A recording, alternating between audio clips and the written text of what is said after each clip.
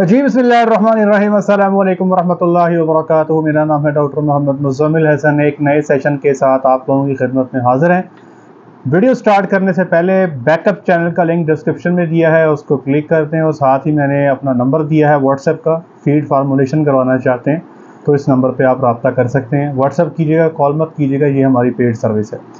आज हम बताएँगे, ये जो आप लोग कहते हैं कि डॉक्टर साहब, ये गाय की वीडियो देखें, ये बैठ गई है और ये उठ नहीं रही, इसको चार दिन हो गए हैं।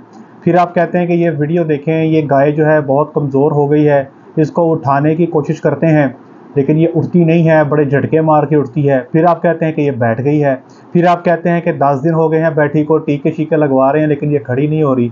आखिर क्या वजह है, ये जानवर क्यों बैठ जाते हैं? इसकी वजह क्या क्या हो सकती हैं, इसका इलाज क्या होगा, इसकी एहतियात क्या होगी, ये सारा आज के वीडियो में आपको बताऊँगा। और फिर आपको ये समझ आ जाएगी कि ये जो हम कहते हैं ना कि भाई मौके पे आके जानवर का पूरा मुआयना करने के बाद ही आपको बताया जा सकता है कि आपके जानवर का सही इलाज क्या होगा, ये आज की वीडियो सुनने के बाद आपको समझ आ जाएगी। कुछ लोगों को जब हम ये बात कहते हैं ना कि भाई आपके जानवर का चूँकि इलाज मौके पे चेकअप के बाद ही पॉसिबल है तो वो हमें जिद हो जाते हैं, जिद करने बैठ जाते हैं कि जी आप कुछ बता दें। एक मुझे साहब फार्मर कहते हैं, या तू इनको जहर का टीका दस दे दस दे। अगर नुकसान होगा तो मेरा होगा तो इन्हों जहर दे, टीका दस दे। एक फार्मर ने मुझे यहाँ तक कहा आज। तो देखिए भाई, बात यह है, मेरा कोई ज़ोर नहीं लगता कि मैं मेडिसिन आपको बता दूँ, लेकिन बात ये कि मुझे को पता तो लगे ना मसला क्या है। अगर मुझे मसले का ही नहीं पता तो मैं क्या आपको दवाई बताऊँगा? नंबर वन नंबर दो, एक डॉक्टर आता है, वो ट्रीटमेंट कर जाता है। आप फिर दूसरे डॉक्टर आता है, वो भी ट्रीटमेंट कर जाता है। फिर आप मुझे पूछते हो, मुझे नहीं पता पहले दो डॉक्टर क्या करके गए हैं। मैं अपना तीसरा जो है, वो अपनी ट्रीटमेंट कर दूँ। बाद दवाइयाँ एक दूसरे से रिएक्शन कर रही होती हैं। एक बंदा आए, वो ऑक्सीटेट्रासाइक्लिन लगवा जाए ऊपर से मैं आपको मुझे कैल्शियम लगा दो। फंस गए ना? एक बंदा आके ट्राइबरसन लगा जाए मैं ऊपर से कैल्शियम लगा दूँ। फंस गए ना? तो भाई बात ही है कि जब तक मुकम्मल हिस्ट्री ना हो, जब तक ये ना पता हो कि पहले डॉक्टर साहबान जो करके गए हैं, वो क्या करके गए हैं, और जब तक ये पता ना हो कि ये बीबी बैठी क्यों है, तब तक इलाज मुमकिन नहीं है, सिर्फ़ तुक्के हैं। तुक्के में मैं नहीं चाहता कि मेरी वजह से, मेरी ज़ात की वजह से किसी का नुकसान हो। उससे बहुत बेहतर है कि हम हाथ जोड़ के माजरत कर लेते हैं कि भाई बगैर चेक किए मौके पे हम जानवर का ट्रीटमेंट नहीं कर सकते। हाँ अपनी मैनेजमेंट के हवाले से बात करनी है, आपको पूछना है फीडिंग के हवाले से या और भी कोई चीज़ें आप बिज़नेस मॉडल के हवाले से बात करना चाहते हैं, सौ दफ़ा करें, बिस्मिल्लाह करें, उसकी कोई टेंशन नहीं है। आज आपको बताएँगे कि जानवर जो बैठ जाते हैं, हम किस जानवर को कहेंगे, इसको इंग्लिश में कहते हैं डाउनर काओ सिंड्रोम मतलब एक गाय जो बैठ गई है, किसी भी वजह से बैठ गई, हम कब कहेंगे गाय बैठ गई? वैसे तो गाय रोज बैठती है, खड़ी भी हो जाती है। लेकिन हम किस गाय को कहेंगे कि ये बैठ गई है? वो गाय जो 12 से लेकर 24 घंटे तक बैठी रहे और खड़ी ना हो, इसको हम कहते हैं कि ये बह गई। इसको कहते हैं डाउनर काउ सिंड्रोम ये इसकी डेफिनेशन है कि एक गाय जो 12 से 24 घंटे तक अपने आप को खड़ी ना कर सके, उसको हम डाउनर काउ कहते हैं। बफलो का बड़ा एडवांटेज है। मैंने आज तक अपने तेरह साल करियर में एक या दो भैंसों को डाउनर होते देखा है, जो बैठ गई। वरना तकरीबन तीन से चार गायें हर सीज़न में हर साल डाउनर हो जाती हैं, बड़े आराम से हो जाती हैं।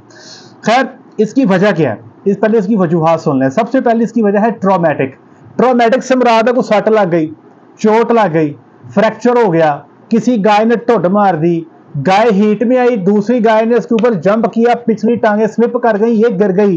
टांगे जो है खुल गई चड्डे पाड़ गए चड्डा चौड़ा हो गए। ये सारे जो है, ये फ्रैक्चर टाइप या चोट या इंजरी इसको हम कहते हैं ट्रोमेटिक इसमें जानवर बिल्कुल सेहतमंद है। सट लगा के बैठ गया। टांग टूट गई फ्रैक्चर हो गया। अब जानवर को तो कोई मसला नहीं है, उसकी तो टांग टूट गई है। तो इसमें पहली वजह है ट्रोमेटिक दूसरी वजह है इन्फेक्शियस कि जानवर को किसी किस्म का इन्फेक्शन हो गया। इन्फेक्शन की सूरत में जानवर बैठ जाते हैं, जैसे मेस्टाइटस है साड़ू। साड़ू में अगर जानवर को टॉक्सिक मेस्टाइटस हो जाए, बाद अवत आप देखेंगे जानवर को जब साड़ू होता है ना ठीक ठाक टेम्परेचर बढ़ जाता है और थान में से यकदम चड्डा सख्त सुरख हो जाता है, उसमें से पानी निकलना शुरू हो जाता है, या सौ कलर फ्लूड निकलना शुरू हो जाता है, दूध की पैदावार ठक करके नीचे आ जाती है और जानवर बैठ जाते हैं। तो मेस्टाइटस में इन्फेक्शन की वजह से जानवर बैठ जाता है। मेट्राइटस में जानवर इन्फेक्शन की वजह से बैठ जाता है, जो बच्चे दाने की इन्फेक्शन है। इसी तरह एक बीमारी है जिसको एचबीएस कहते हैं हेमरेजिक बाउल सिंड्रोम जो क्लास्ट्रीडिया की वजह से होती है। उसमें जानवर बैठ जाता है। एक वायरस है जिसको हम टीडीएस कहते हैं थ्री डे सिकनेस जिसको बेफ वायरस की वजह से होता है बोवाइन फेवरल फीवर वायरस उस इन्फेक्शन की वजह से भी जानवर बैठ जाता है। तो ये मल्टीपल रीजन हैं, और भी बहुत सी इन्फेक्शन हैं, जिसमें जानवर जो है वो बैठ जाता है। तीसरी है डिजनरेटिव और चौथी है टॉक्सिक डिसऑर्डर्स ये चार मेन कैटेगरीज हैं। अच्छा एक और चीज़ सुन लें। जानवर किसी वजह से बैठ गया, मिसाल है, उसको सूतक हो गया फास्फोरस की कमी होगी पोटेशियम घट गया, लता जो चोट लग गई, या किसी इन्फेक्शन से बैठ गया, आपने उसका इलाज कर दिया। लेकिन जानवर जो था, वो दो दिन बैठा रह गया। जब जानवर दो दिन बैठे रह जाते हैं तो जानवर की पिछली टांगों पे प्रेशर आता है, जानवर की अगली टांगों पे प्रेशर आता है। तो यहाँ पे जो पिछली टांगों में और अगली टांगों में नर्व्स मौजूद होती हैं नर्व से मुराद वो चीज़ें जो आपके अंदर जो है हिस्स पैदा करती हैं। जैसे मिसाल के तौर पर ये मेरी उंगली है, ये मुझे पता लग रहा है कि मेरे सर को टच कर रही है। ये कौन बता रहा है? यहाँ पे नर्व मौजूद है, जो मुझे बता रही है। सिग्नल जो है दिमाग पे जा रहे हैं कि ये उंगली जो है, ये दिमाग को टच कर रही है। अब मैंने ये एन को ऐसे ऊपर करना है कि यार ये नीचे आ जाती है मैं इसको ऊपर कर रहा हूँ। ये भी किस तरह पता लग रहा है? यहाँ पे नर्व मौजूद है, दिमाग को सिग्नल जाता है, फिर नर्व को मैसेज आता है कि यार इस एन को ऐसे कर दो। ये जो नर्व हैं, ये प्रेशर डैमेज इनका हो जाता है। जानवर जब एक ही जगह पे बैठा रहता है, मिसाल के तौर पे आप पैरों पैरों के बाहर बैठ जाएँ और आप दो घंटे बैठे रहें तो बाद में जब आप खड़े होकर चलेंगे ना, आपसे सही चला नहीं जाएगा। लोग कहते हैं पैरा से कीड़ियाँ लड़न लग पी पैर सो गए। ये क्या होता है? ब्लड की सर्कुलेशन वहाँ पे रुक जाती है और उस जगह पे जो नर्व्स मौजूद होती हैं, वहाँ पे प्रेशर आ जाता है, जिसकी वजह से बाद में आपको दिक्कत का सामना करना पड़ता है। तो बाद ये होता है कि आप प्राइमरी वजह जो है बैठने की वो चाहे मिस्टाइटस था, वो हाइपोफॉस्फेटीमिया था, वो कैल्शियम की कमी थी, वो कुछ भी था, वो ठीक कर लिया आपने। पर जानवर चूँकि दो दिन बैठा रह गया। आपने उस जानवर को मूवमेंट नहीं दी, उसको हरकत नहीं दी, उसकी पोजीशन चेंज नहीं की प्रेशर पड़ गया, ना उस पर अब वो इस वजह से बैठ गया, इसको कहते हैं सेकेंडरी जो है ना जी, अपना रिकम्पेंसी तो जानवर को एक ही जगह पे याद रखें, जब भी वो बैठ जाए तो कोशिश करें कि उसकी पोजीशन बदलते रहें ताकि ब्लड सर्कुलेशन जो है पूरे जिसम में चलती रहे। प्रेशर डैमेज जो है नर्व्स का वो बिल्कुल भी ना हो सके। अब यहाँ पे जो जानवर बैठ जाते हैं, उनको हम दो हिस्सों में डिवाइड करते हैं। दो तरह की कंडीशन आ सकती हैं। एक है अलर्ट काओ और एक है non alert cow alert cow उसे कहते हैं कि जो बैठ गई है, लेकिन आप कहते हो, डॉक्टर खाने पीने बिल्कुल ठीक है। कोई मसला नहीं है, ना इसमें टेम्परेचर है, ना इसको कोई और मसला है। पानी भी ठीक पीती है, खाना भी ठीक खाती है, आँखों में चमक भी पूरी है, रोशनी पूरी है, सेहत भी देखने में सेट लगती है, खड़ी नहीं हो रही बस। इसको कहते हैं अलर्ट काओ एक होती है non alert cow non alert cow क्या होती है? आँखें बिल्कुल उतरी हुई, कान गिरे हुए। देखने में लगता है कि जानवर बहुत ज़्यादा परेशान है। जानवर जो है वो लेट जाता है, जिसको हम कहते हैं लेटरल रेकम्बेंसी पे चले जाता है। स्टर्नल रेकम्बेंसी जो है वो मेंटेन नहीं कर सकता, जानवर से बैठा नहीं जाता। वो अपने आप को आप देखेंगे बार बार उठा के बिठाएँगे, फिर लेट जाएगा। आप बिठाएँगे, फिर लेट जाएगा। टेम्परेचर ज़्यादा होगा इन्फेक्शन होगी सिस्टमिक इलनेस होगी। तो ये दो तरह की रीजन हैं जिसमें आपको ये देखने को मिल सकता है। जो अलर्ट काउस हैं, वो किस किस किस्म के केस में आप देखोगे कि अलर्ट काउ है? हाइपोकैल्सीमिया जानवर में कैल्शियम की कमी हो गई। ठीक है, इसी तरह डिस्टोकिया आपने बच्चा खींच के निकाला, उसके बाद भी जो है, गायें बाद बैठ जाती हैं क्योंकि वहाँ पे एक नर्व गुजरती है। तो हम कहते हैं कि यह नर्व प्रेस हो गई है बच्चा निकालने के दौरान, ठीक है जी? तो इस वजह से भी जिसको हम ऑब्सरेटर नर्व पैरालिसिस कहते हैं, इसको भी जो है, इसमें भी गाय अलर्ट होगी। इसी तरह कोई इंजरी जानवर को आ गई है बाहर तो देखने में जानवर बिल्कुल ठीक है, यहाँ पे भी जो है काव अलर्ट होगी। इसी तरह अगर पोटाशियम की और फास्फोरस की कमी होगी है जानवर के अंदर, यहाँ भी गाय अलर्ट होगी, खाना पीना ठीक होगा, देखने में नज़र सही आती होगी, लेकिन वो बैठ गई होगी। नॉन अलर्ट गाय जो है नॉन अलर्ट केसेस कौन कौन से हो सकते हैं? साड़ू पे आ गया, जिसकी मैंने पहले बात की कि जहरीला साड़ू पड़ गया इकोलाई इन्फेक्शन आ गई कॉलीफॉर्म बैक्टीरिया आ गए। जानवर का टेम्परेचर हाई हो गया, जानवर डिप्रेस्ड हो गया दूध थक खत्म हो गया हिवाना सूझ गया, दूध जो है, बिल्कुल पानी की तरह जो है अंदर से आ रहा है। तो जानवर अमूमी तौर पे नॉन अलर्ट हो जाते हैं, वो बैठ भी जाते हैं और बाद लेटने की कोशिश करते हैं। बच्चे दाने की शदीद इन्फेक्शन जिसको मेट्राइटस कहते हैं, उसमें भी हो सकता है। एक कंडीशन है जिसको हम कहते हैं R D A right displacement of abomasum जानवर के मेदे के चार हिस्से होते हैं। चौथा हिस्सा जो है, ये बिल्कुल ओडड़ी के नीचे होता है। अगर वो ओडड़ी से दाएँ तरफ़ सरक के आ जाए तो इसको हम आरडीए बोलते हैं। इसके अंदर भी जानवर जो है, शदीद तकलीफ़ का सामना करता है और बैठ जाता है।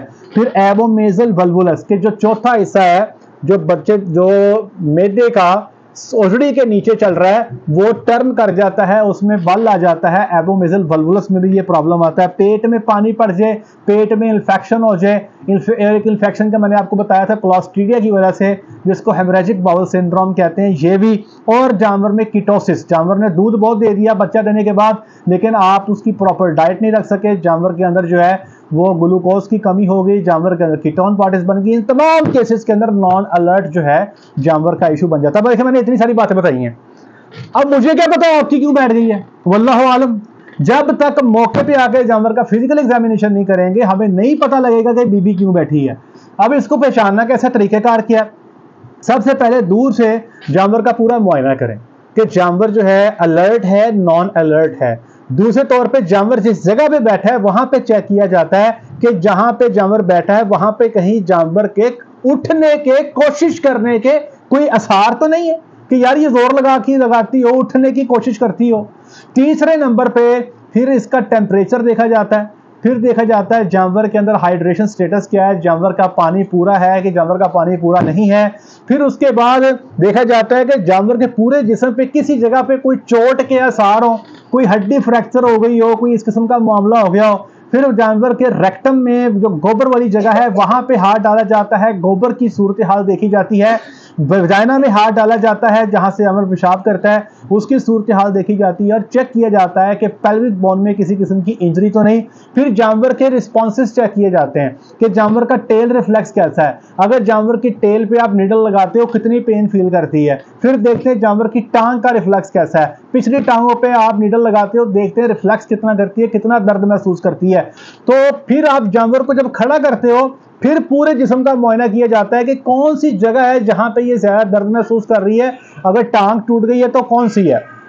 तो ये सारी फ़िज़िकल एग्जामिनेशन करने के बाद ही आपको पता लगता है कि ये जनाब क्यों बैठी हैं और इसका क्या करना याद रखें, जब भी जानवर बैठ जाए, कोशिश करें उसको घसीट घसूट के किसी तरीके से सॉफ्ट और नरम जगह पे छोड़ दें। अगर जानवर बैठ गया है और नीचे पक्की जगह है तो याद रखें ये सेकेंडरी रिकम्बेंसी या जिसको मैंने कहा था ना कि प्रेशर डैमेज की वजह से, या टिश्यू की जो नेक्रोसिस है ड्यू टू एस्कीमिया वो हो जाएगी। ये मैं थोड़े से मुश्किल वर्ड बोल रहा हूँ, क्योंकि ये वीडियो जो है मेरे डॉक्टर भाई भी देखेंगे। डाउनर काउ सिंड्रोम के हवाले से बड़ी दफ़ा उन्होंने बात की है कि इस पर वीडियो बनाई है। तो सेकेंडरी रिकम्बेंसी से बचाने के लिए कोशिश करें कि जानवर को जब वो बैठ जाए, किसी कच्ची, नरम सॉफ्ट जगह पर रखें, सख्त जगह पर रखेंगे तो मसाइल का सामना आपको करना पड़ेगा। अब इलाज कैसे होगा? जो वजह है उसको हल करना है। मिसाल के तौर पे, कैल्शियम की कमी है तो कैल्शियम की ड्रिप लगेगी।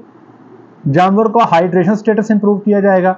अगर पोटेशियम की फास्फोरस की कमी है तो उस हिसाब से जानवर का पोटेशियम फास्फोरस इलेक्ट्रोलाइट्स पूरे किए जाएँगे। अगर जानवर को फ्रैक्चर हो गया, जारी बात है फ्रैक्चर की पोजीशन देकर डिसाइड किया जाता है कि वाया ये फ्रैक्चर जो है, ये ठीक हो भी सकता है। जानवर भारी है, वजनी है कहीं ऐसी जगह से हड्डी तो नहीं टूटगी जिसको प्लस्तर लगाने का फ़ायदा ही कोई नहीं है, ये सारी चीज़ें आपको चेक करनी पड़ती हैं। फिर आपको देखना पड़ता है कि अगर फीमेल है तो जब भी गाय बैठ जाए तो थनों की धारे ज़रूर मार के चेक करें। हमारे पास फार्म पे जब गाय बैठ जाती है ना तो हम उसके थनों की धारें ज़रूर चेक करते हैं कि इसको साड़ू तो नहीं हो गया? कई दफ़ा ऐसे होता है कि साड़ू जो है टॉक्सिक मिस्टाइटिस की वजह से जानवर बैठा होता है और हम फिर कोशिश हमारी सारी होती है कि इसके साड़ू को जल्द से जल्द ट्रीट किया जाए। जब इसका साड़ू बेहतर हो गया, इसके जिसम से टॉक्सिन्स निकल गए, ये ऑटोमेटिकली जो है कुछ देर के बाद खड़ी हो जाएगी। फिर चेक ये करना है कि कहीं बैक्टीरियल इन्फेक्शन तो नहीं? या इस जानवर का जो है मेदे के कंटेंट्स क्या है? मेदे की कंटेंट्स की मूवमेंट क्या है? इंटेस्टाइन की साउंड क्या है? ये सारी चीज़ें जो है वो आपको चेक करनी पड़ती हैं।